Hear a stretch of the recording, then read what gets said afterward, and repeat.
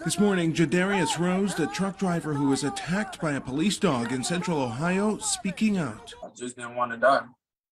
That was what was going through my mind. The officer who released the canine, Ryan Speakman, has since been fired. His former department saying Speakman did not meet the standards and expectations we hold for our police officers.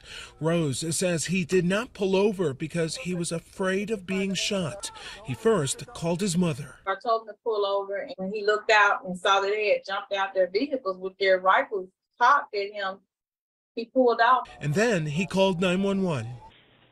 Yes, I'm right now. I have police officers following me for a long time, and I'm trying to figure out why they got their guns pulled out at me, and I'm just a truck driver.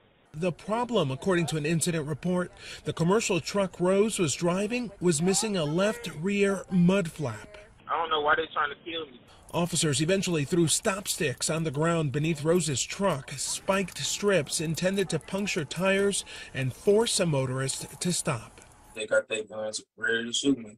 This video capturing the subsequent moments when police caught up with Rose as he exited his truck, fellow officers telling Officer Speakman multiple times to keep control of his dog. Do not release the dog with his hands up. Though Rose did have his hands in the air, Speakman released the dog. It first went toward other officers before turning and attacking Rose. Do not, hey, do not get the dog off of it. The video appears to show the dog maintaining its grip on Rose for more than 30 seconds.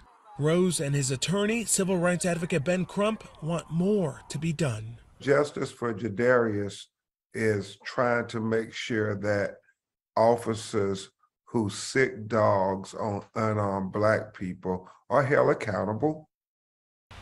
And Rose is still charged with felony failure to comply. We did reach out to the fired officer for comment, but did not hear back.